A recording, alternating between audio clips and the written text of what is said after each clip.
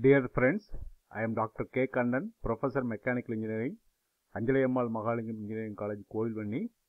I am happy to meet you again in the video lecture on engineering thermodynamics.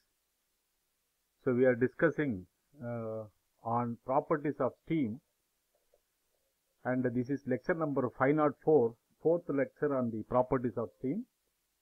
So we recap from the previous lectures. So we studied about the properties of steam and we discussed various process, thermodynamic process with the steam, constant volume process, constant pressure process, isothermal process, adiabatic process and the polytropic process. And we have calculated the uh, work done heat transfer for all the thermodynamic process and we, we introduced the steam table, use of the steam table and the Mollier diagram. Now in this lecture, so we will solve problems on properties of steam and properties and process with steam. And the learning outcome for this lecture, the student will be able to solve problem on properties of steam. And this is the first example. Find the specific enthalpy, specific volume, specific internal energy and specific entropy of the steam at a pressure of 10 bar when condition 1 the steam is wet with the dryness fraction 0.9 condition 2 the steam is dry and saturated. Condition 3 the steam is superheated to 300 degree celsius. Now from the steam table uh, table number 2 uh, for pressure p equal to 10 bar pressure table for pressure p equal to 10 bar we take all the properties. Saturation temperature 179.9 degree celsius. Vf 0.001127 meter cube per kilogram. Vg 0.1943 meter cube per kilogram hf 762.6 kilojoules per kilogram hfg uh, 2013.6 kilojoules per kilogram kelvin hg 2776.2 kilojoules per kilogram SF 2.138 kilojoules per kilogram Kelvin, SFG 4.45 4.445 kilojoules per kilogram Kelvin and SG 6.583 kilojoules per kilogram Kelvin. So these are all available in the steam table. So you have to carefully note down the values, horizontally note down the values. First we take the steam is wet with the dryness fraction 0.9. So enthalpy of the wet steam is equal to HF plus X into HFG. So substitute the numerical value 762.6 plus 0.9 into 2013.6 equal to 2574.84 kilojoules per kilogram. And uh, specific volume of the wet steam 1 minus X into Vf plus X into Vg is equal to 1 minus 0.9 into 0.001127 plus 0.9 into 0.1493 equal to 0.175 meter cube per kilogram and uh, int, internal energy of the wet steam H wet uh, U wet equal to H wet minus P into V wet. So H wet we already we calculated enthalpy of the wet steam we have calculated 2574.84 minus 10 into 100. So this 100 to convert pressure bar 10 bar into kilopascal. So 10 into 100 into 0.175 equal to 2399.84 kilojoules per kilogram and uh, specific entropy of the wet steam S wet equal to SF plus X into SFG equal to 2.138 plus 0.9 into 4.445 that is equal to uh, 6.1385 kilojoules per kilogram Kelvin. So these are all the properties of the wet steam. And for dry and superheated steam, uh, dry and saturated steam, H dry equal to Hg. This is directly available for the in the steam table. Hg equal to 2776.2 kilojoules per kilogram. V dry equal to Vg. This is also directly available from the steam table. 0.1943 meter cube per kilogram. U dry equal to Hg minus P into Vg. That we have calculated earlier. 2776.2 minus 10 into 100 into 0.1943 equal to uh, 2581.9 kilojoules per kilogram. S dry equal to Sg that is also directly available from the table 6.583 kilojoules per kilogram Kelvin. So, the entropy of the dry saturated steam it is directly taken from the table. So, it is available in the steam table. And uh, when the steam is superheated to 300 degree Celsius, H super equal to Hg plus Cp into T minus Ts which is 2776.2 plus 2.2 into 300 minus 179 uh, equal to 3040.42 uh, kilojoules per kilogram. V super equal to Vg into T minus T by Ts. So 0.1493 into 300 plus 273 divided by 179.9 plus 273 equal to 0.2458 meter cube per kilogram. And the internal energy of the superheated steam equal to enthalpy of the superheated steam minus P into specific volume of the superheated steam.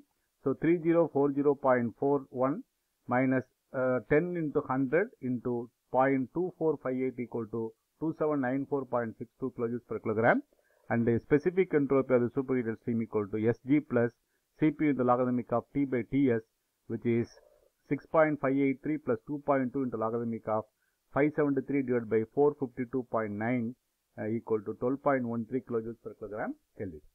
So, we have calculated the properties of the wet steam, dry steam and the superheated steam. And we take example number 2 from the Anna University question paper. So, this question asked in various questions November 2019, November 2012, May 2015, May 2016 and May 2017. A vessel of volume 0.0 meter 0.04 meter cube contains a mixture of saturated water and saturated steam at a temperature of 250 degrees Celsius.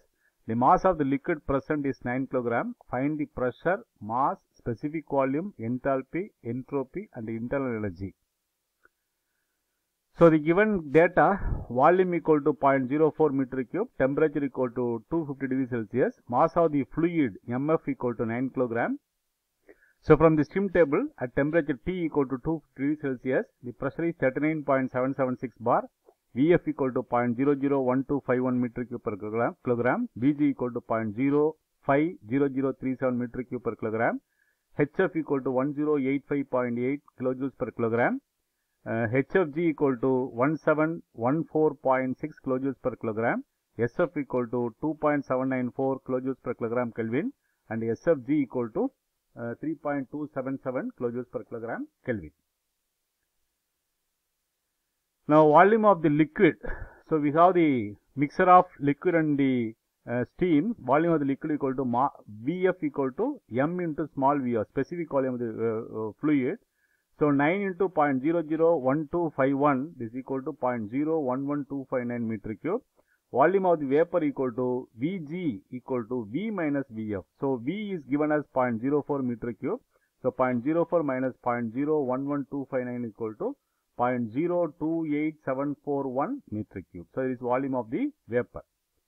Now, mass of the vapor mg equal to volume of the vapor divided by the specific volume of the vapor. Volume of the vapor from the previous calculation 0.028741 divided by specific volume of the vapor from the steam table uh, 0.0050 0.050037 uh, Vg equal to 0.050037. So, m equal to 0.574 kilogram. So, mass of the vapor equal to 0.574 kilogram. And dryness fraction of the steam x equal to mg divided by mg plus mf. So, 0.574 divided by 0.574 plus 9 equal to 0.06. Specific volume of the steam V equal to 1 minus x into Vf plus x into Vg which is 1 minus 0.06 into 0.001251 plus 0.06 into uh, um, 0.005037 equal to 0.00418 meter cube per kilogram. And specific enthalpy of the steam H equal to HF plus X into HFG which is 1085.8 plus 0.06 into 1714.6 equal to 1188.67 kilojoules per kilogram.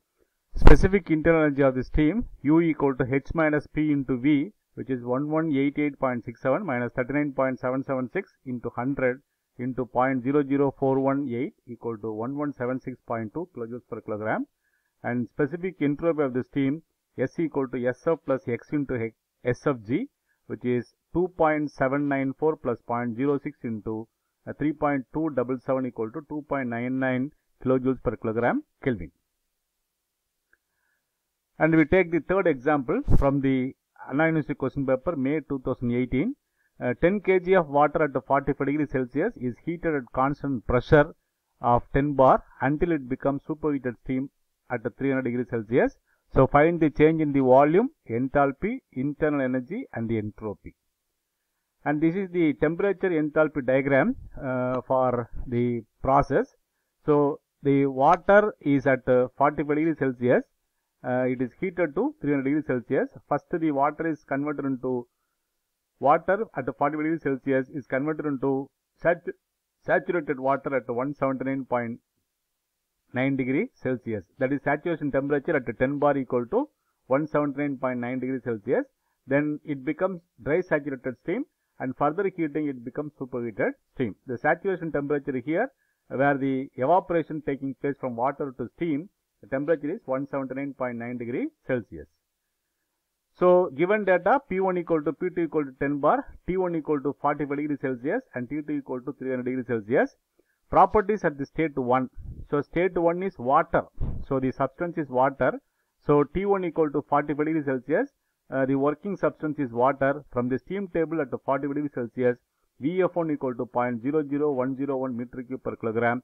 H1 equal to CPW into T which is 4.187 into 45 equal to 188.4 kilojoules per kilogram and U1 equal to uh, H1 minus P1 V1 equal to 188.4 minus 10 into 100 into 0.00101 equal to 187.39 kilojoules per kilogram and entropy S1 equal to H1 by T1 so 188.4 divided by 45 plus 273 equal to 0.592 kilojoules per kilogram Kelvin. All the properties at the beginning uh, T1 equal to 45 degree Celsius. Now the property at state 2, the working substance is superheated steam. From steam table P2 equal to 10 bar and T2 equal to uh, 300 degree Celsius, H2 equal to 3051.1 kilojoules per kilogram. Specific volume is 0.258 meter cube per kilogram. Specific entropy is 0.7.125 kilojoules per kilogram Kelvin and we calculate the internal energy H2 U2 equal to H2 minus P2 V2. So, this is 3052.1 minus 10 into 100 into 0.258 equal to 2794.1 kilojoules per kilogram. So, the properties at the point 2 temperature 300 degrees Celsius is also calculated. Now, we calculate the change in volume delta V equal to m into V2 minus V1. So, 10 into 0.258 minus 0.00101 equal to 2.57 meter cube change in enthalpy delta H equal to m into H2 minus H1. So, 10 into 3052.1 minus 188.4 equal to uh, 28637 kilojoules and change in internal energy delta U equal to m into U2 minus U1 equal to 10 into 2794.1 minus 187.39 equal to 26067.1 kilojoules and change in entropy delta S equal to m into S2 minus S1 equal to 10 into 7.125 minus 0.592 equal to 65.33 kilojoules per Kelvin. So, these are all the answers. The various change of properties for the given inlet and the outlet conditions. Example number 4. Uh, so, this is from the uh, May 2017 question paper. What amount of heat would be required to produce 4.5 kg of steam at a pressure of 6 bar and temperature of 250 degrees Celsius from water at uh, 30 degrees Celsius. Take the specific heat of superheated steam as 2.2 kilojoules per kilogram Kelvin. And the given data 4 point mass mass of the steam m equal to 4.4 kg, pressure P1 equal to P2 equal to 6 bar, temperature T1 equal to 300 degree Celsius, T2 equal to uh, 250 degree Celsius and the specific enthalpy of water at 30 degree Celsius H1 equal to CPW into T1 which is 4.187 into 30 equal to 125.61 kilojoules per kilogram and from the steam table at the P2 equal to 6 bar T2 equal to 250 degree Celsius the specific enthalpy of the superheated steam H2 equal to 2957.6 kilojoules per kilogram. Now the amount of heat required to produce the steam so, Q equal to m into H2 minus H1 which is 4.4 into uh, 2957.6 minus 125.61 equal to 12,460.7 kilojoules. So, this is the answer to the problem. The amount of heat required uh, to produce steam at 250 degree Celsius from water at 30 degree Celsius. We take example number 5. So, 3 kg of steam uh, at 18 bar occupy a volume of 0.255 meter cube. during a constant volume process, the heat rejected is 1320 kilojoules. Determine the final internal energy and also initial dryness fraction and the work done. So, this is from the unannounced question paper November 2018. So, the given data it is a constant volume process mass equal to 3 kilogram pressure P1 equal to 18 bar V1 equal to V2 equal to 0.255 meter cube and the amount of heat rejected Q equal to minus 1320 kilojoules. So, from steam table at the pressure P1 equal to 18 bar HF1 equal to 884.5 kilojoules per kilogram HFG1 equal to 1910.1 kilojoules per kilogram Vg1 equal to 0.11033 meter cube per kilogram and the initial dryness fraction so V1 by M V1 by M equal to x1 uh, V1 by M equal to x1 Vg1 V1 is the actually specific volume. V1 by M equal to the specific volume of the wet steam. So which is equal to x1 Vg1 so x1 equal to V1 by M into Vg1 that is 0.255 divided by 3 into 0.11033 equal to 0.77 and the final internal energy of the steam to calculate the final H1 equal to first we calculate H1 equal to HF1 HF1 plus X1 HFG1 equal to 884.5 plus 0.77 into 1910.1 that is equal to 2355.2 kilojoules per kilogram. U1 equal to H1 minus P1 V1 which is equal to 2355.2 minus P1 equal to 18, uh, 1800 kilopascal into V1 equal to 0.255 divided by the mass volume divided by the mass uh, that is equal to 2202.2 kilojoules per kilogram. Now the amount of heat transfer for the constant volume process so Q equal to M into U2 minus U1. So Q is given as 1320 uh, 1320 which is equal to M equal to 3 and multiplied by U2 minus U1 equal to 2202.2.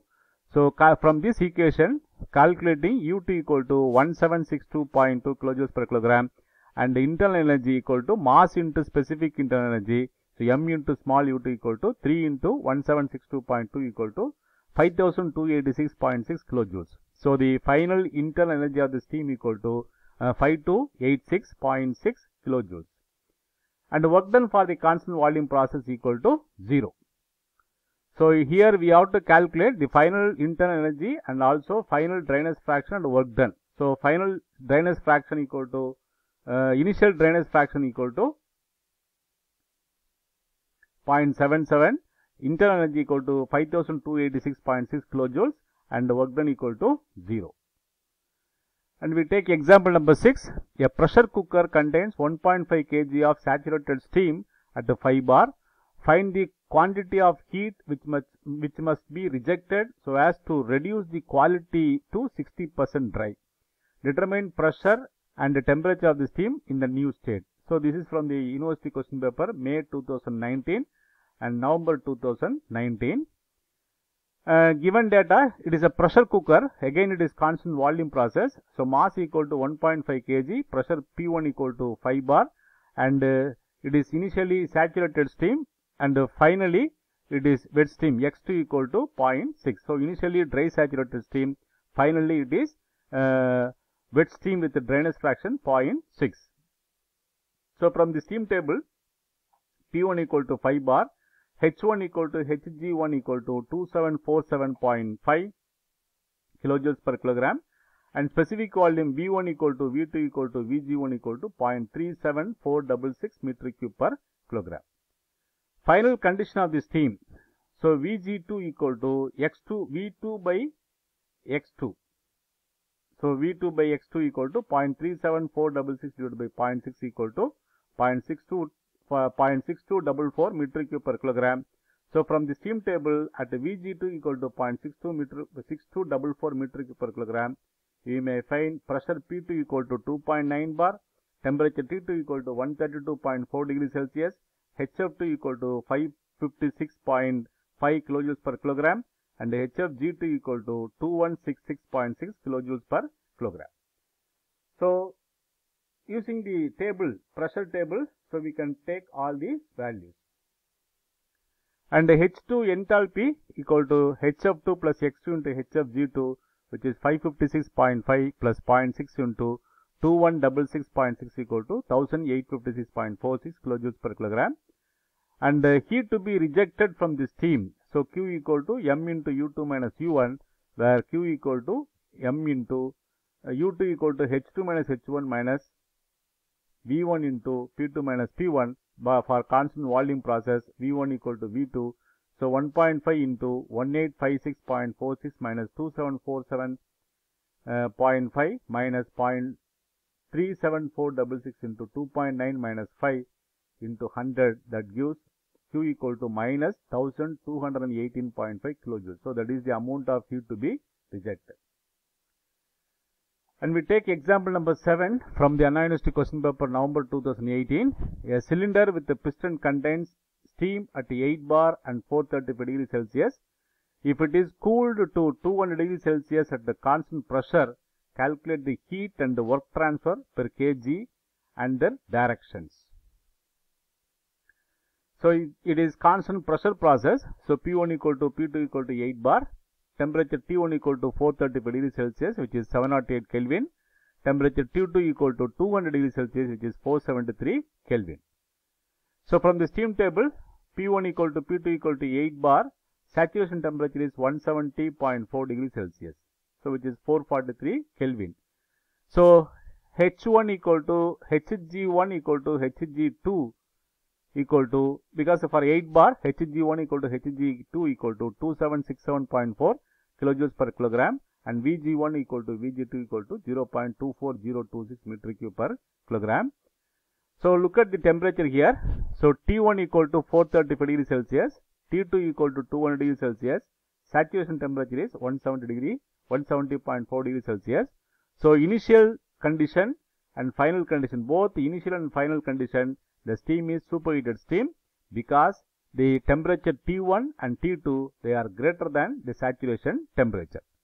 So initially and finally initial condition and final condition it is superheated steam. So initially it uh, superheated steam at 430 degree Celsius and finally it is superheated steam at 200 degree Celsius.